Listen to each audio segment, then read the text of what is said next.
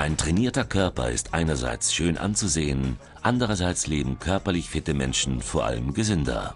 Dabei ist ein individuell abgestimmtes Training das Um und Auf. Falsches Training birgt aber Verletzungsgefahr. Ein Fitnessbetreuer kann helfen, das richtige Training zu finden.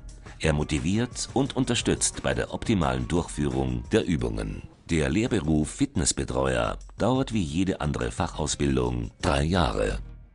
Diesen Ratgeber widmen Ihnen die Freizeit- und Sportbetriebe in der WKO Oberösterreich.